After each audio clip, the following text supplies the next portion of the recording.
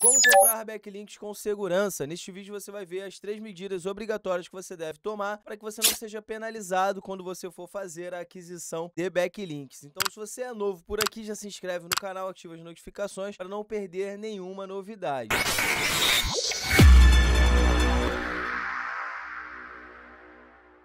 Coisa que nós vamos ver aqui, primeiro item que você deve se atentar na hora de comprar backlinks é o histórico de quem vende. Por que o histórico de quem vende? Porque os backlinks, quando você compra um backlink que você faz um apontamento, você precisa ter a segurança, você precisa ter a certeza que esse backlink não vai ser removido. O que acontece muito no mercado é que você chega lá, você compra um backlink, você até tem resultado, mas logo em seguida quem te vendeu tira esse backlink para fazer com que o seu site caia e te venda novamente. Então, primeiro primeiro item que você deve analisar é o histórico de quem vende. Quem está vendendo, por quanto tempo essa pessoa está vendendo, se existem outras pessoas que estão comprando também. Verificar a idoneidade de quem está vendendo. Esse é o primeiro ponto a ser analisado para você não ter problemas, para que você consiga fazer um trabalho de longevidade, né? Um trabalho que seja contínuo e que gere resultados. Então, o primeiro item, o histórico de quem vende. O segundo item que você deve se atentar é a qualidade, a qualidade dos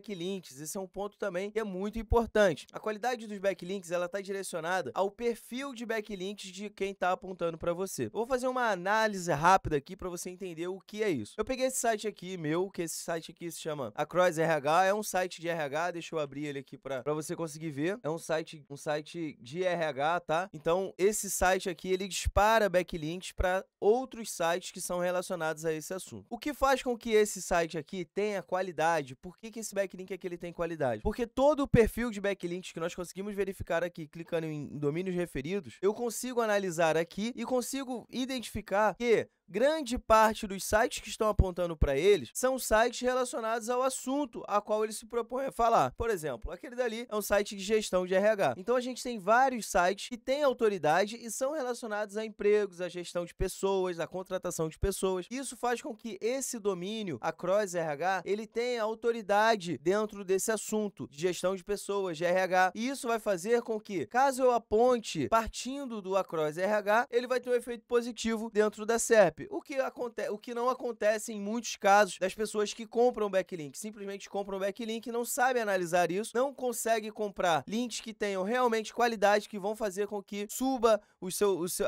as suas palavras no ranking. Então, o segundo ponto que você deve ficar atento sempre é a qualidade do backlink que você está comprando. Você sempre deve analisar se o perfil de backlinks é compatível com o que você precisa. Se o seu site ele é de RH, é de gestão de pessoas, é de negócios, esse, esse link aqui serve. Se o seu site é de perder peso, você precisa de ter um, um site que tenha um perfil de backlinks relacionados à perda de peso, área da saúde ou coisas do tipo, tá? Caso ele não tenha essa relação direta com o seu nicho, caso ele não seja relacionado ao seu nicho, simplesmente isso não vai funcionar, beleza? E o terceiro ponto é o preço. Como comprar backlinks é um, uma, uma ação não muito comum, então muita gente não sabe quanto que custa, não sabe o preço que, que, que vale um backlink de qualidade e acaba caindo em algumas, não vou dizer mazelas, mas em alguns problemas do mercado, como esse caso aqui, ó. É, esse cara tá prometendo 150 backlinks pelo valor de 600 reais. Porém, a qualidade desses backlinks, elas não são boas. Ele não, ele não cumpre com o segundo requisito que nós vimos aqui. Ele não tem um perfil de backlinks que seja compatível